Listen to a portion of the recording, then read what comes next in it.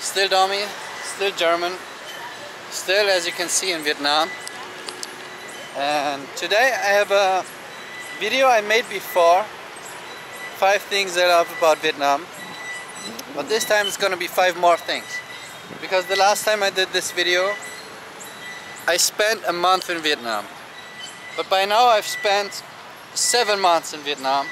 So things might have changed and I discovered some more stuff.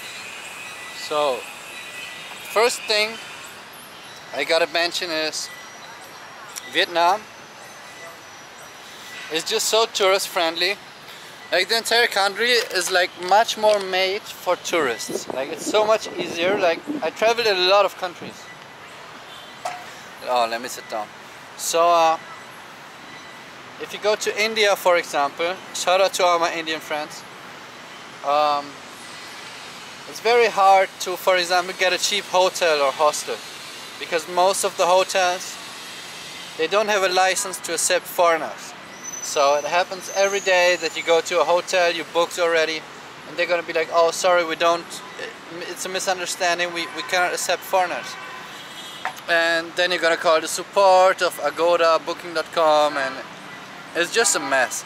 But here in Vietnam, everything is like super tourist friendly.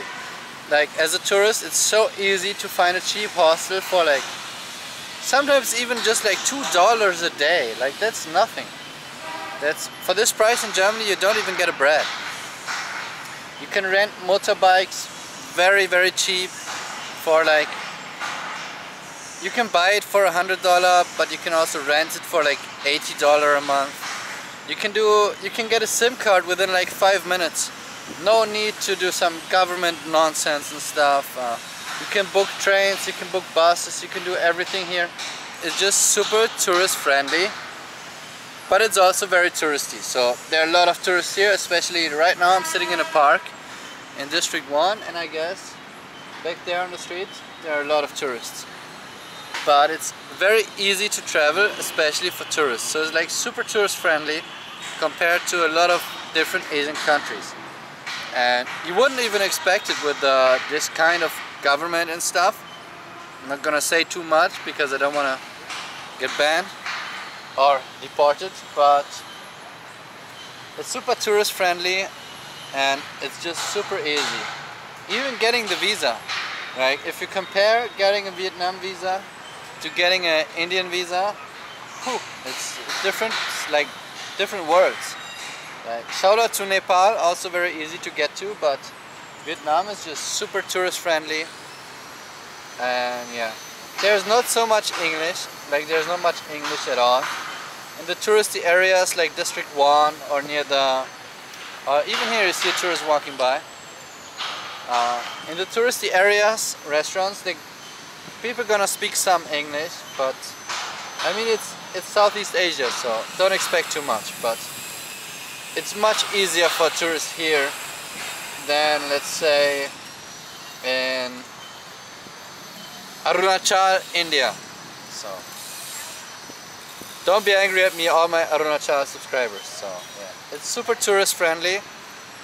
Yeah, that's the point. Next one. Okay, so the next point is a thing I also noticed in India. In India it's even more drastic, but people here, they love to have. I don't know how it's for local people, but for foreigners travelers, people just love to have. Like, I had a flat tire in the seven months, like, maybe three times or four times. And every time I have a flat tire, I'm just pushing my motorbike and people automatically tell me, oh, go there, go to this shop. And then there's gonna be some old man fixing my scooter for one dollar and you're good to go. Like whenever you have a problem, even though people here don't speak much English, like you gotta communicate with your hands or Google Translate. Like out of all the countries I've traveled, the most Google Translate conversations I had in Vietnam. But people always gonna help you. Like you're you're never gonna be in big trouble. Like people gonna help you. Like no matter where it is, if you're if you're searching some place, if you look lost, if your motorbike is broken, if you if you have some trouble getting into the hotel or something, people they're just gonna help you. Like there's always some person doesn't speak English most of the times, but they try to help you. You're gonna communicate with your hands or Google Translate or pictures. Oftentimes just Google Pictures. And you never have to worry. Like, first point was it was very, it's, it's tourist friendly. And I think this plays into it. It's, it's very friendly for tourists. And especially after leaving like the touristy area, people don't see many foreigners at all. So you're gonna get help a lot. Yeah. Even if you think you don't need help, trust me, you're gonna need some help and you're gonna get a lot of it. So I think uh, it's a bit noisy, I'm sorry, but yeah, I think that's the second point. So the next point plays into the point I just named. People help you a lot, but the best thing here in Vietnam is if you learn some words in Vietnamese, people there are just so surprised and so happy if they hear you speak Vietnamese or trying to speak Vietnamese. Because for anyone that doesn't know, um, there are a lot of languages on this planet, but there are only a few languages that play with the tones and the phonetics of the language.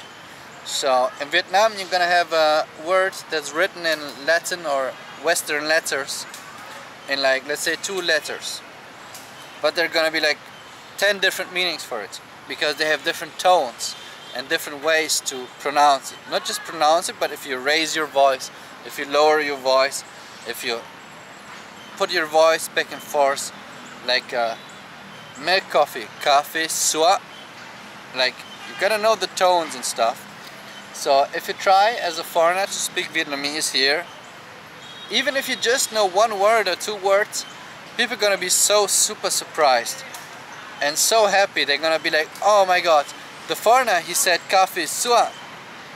How does he know? How can he speak it? Like people, they're very surprised because a lot of people here, they just expect that the foreigner isn't able to say any Vietnamese stuff because it's complicated. It's very complicated. Like I've been to many countries. Like it's it's a hundred times easier to go to. Uh, market in India and say, Uncle, ek tanda pani. It's, it's much easier to speak like Hindi or something like this because you just gotta learn the words. But here in Vietnam, you gotta know the tones and stuff. And if they see a foreigner trying to speak their language, you're gonna get showered by a lot of love. Like even when I go to buy my dinner, like in front of my house, to buy some rice, and I just say uh, Mang Di, takeaway. They're gonna be like, oh my god, the foreigner said Mang Di they're gonna tell all of the neighbors, look, look, the foreigner, he said Mang Di. So people are very excited and very happy if you try to speak some Vietnamese. So I would recommend you to try and speak at least some Vietnamese. Not just like Xin Chào or something like this. Try to learn some common words if you buy some food or something. Uh, people gonna be happy. Like, it's hard. It's very hard. I can I can say it's very hard. Like by now, I know around like 700 Vietnamese words, but I still can't really talk to people. While in India, I can just get around and talk to everyone. Even in Nepal, you get the different accents like Tike changes in Assam to Tikase, Tikcha in Nepal. Like stuff like this is very easy, but in Vietnam, it's on a whole nother level and people here, they don't speak English. Like if you go to India or something, everybody's gonna speak English. Like English is like second official language. But here in Vietnam, it's Vietnamese. Don't expect to find English, English menus or something. But if you try to speak some Vietnamese, you're gonna be the hero of the street. So. Let's get to the next point. The next point, very easy point, very quick point. I really love the, you could call it coffee culture. I'm not sure if it's in my last video. Or you can call it the cold drink culture. But people here in Vietnam, on every corner, even from here, I see at least four places selling cold drinks and coffee. And it's always going to be full of ice cubes. I, I think there are more ice cubes in Vietnam are citizens in Vietnam. Like, yeah, for sure there are more ice cubes than living human beings. So you're gonna get cold drinks and ice cubes and iced coffee everywhere. And the price, at least for anyone that comes not from Asia, like anyone from a wealthier country where the currency is more valuable, gonna have a good time. Like in Germany, if I go to Starbucks and buy iced coffee, it's gonna be like five or six dollars. If I step inside of my outside of my room and I buy an iced coffee, it's gonna be 60 cents. For five dollar, I'm gonna get almost 10 iced coffees. So you're gonna get a lot of ice cubes, a lot of iced coffees, a lot of cold drinks. And that's actually the thing when I first visited Vietnam like uh, one year ago and I went back to India the thing I missed the most were the ice cubes and the cold drinks especially iced tea. Like in Vietnam it's hard to find a drink that doesn't have ice cubes or is super cold or is a coffee. Like you gotta go to some mountains or so, to some colder area like Dalat to find like a warm drink but 99% of the time you're gonna get ice cubes and a cold drink. And I would really wish like the western world like Europe would implement this because I don't see any reason why. Like it just makes stuff better. If you disagree mention it in the comments. It's a short point but that's just what I think. Shout out to all the ice cubes in Vietnam and shout out to all the cold drinks in Vietnam. Okay, and so here we come to the last point of my short list. I hope the video is not too long, but it's it's like two points. I just filmed a video about driving in Vietnam, and this kind of ties into it. It's how much fun it is to drive in Vietnam once you leave the city. Like if you're inside of the city, I just explained in my recent or next video, I'm not not sure by now. It's crazy traffic is war. But once you leave the city, it's the best ride experience you can have. Especially because you can easily rent a motorbike, everything, you can just ride around and you can get from one city to the other very easily. And Vietnam, big shout out to Vietnam. Let me show you for one second. Maybe I can do it. Look at those streets. Look at those streets. Do you see just a single pothole? No, you don't. Vietnam has such perfect, super smooth, insane streets. Like the streets here, they're just so good. Big shout out to all my friends from Arunachal, India and from Nepal. You're gonna understand what I'm talking about. Indian government, you can you can get a good example here from the Vietnamese streets. Like, just ask the Vietnamese government, how, how are you doing your streets?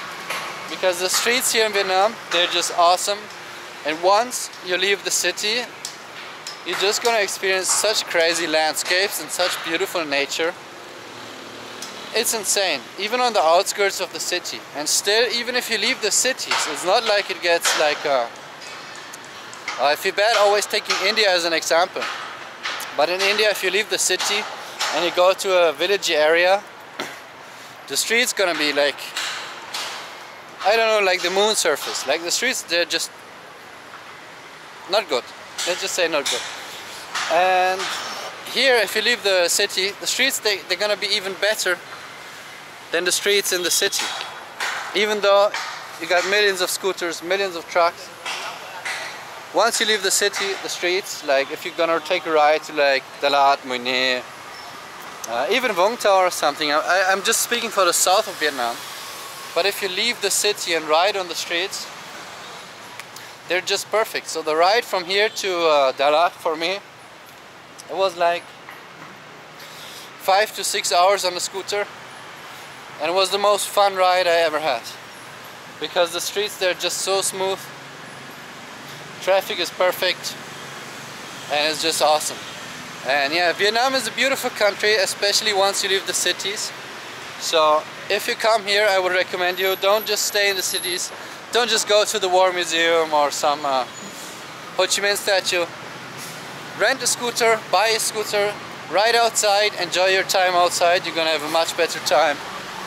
And I guess that's it with the video. So goodbye guys. See you in the next video and there's a lot to come because I now have my summer holiday so I have a lot of time to film so let's go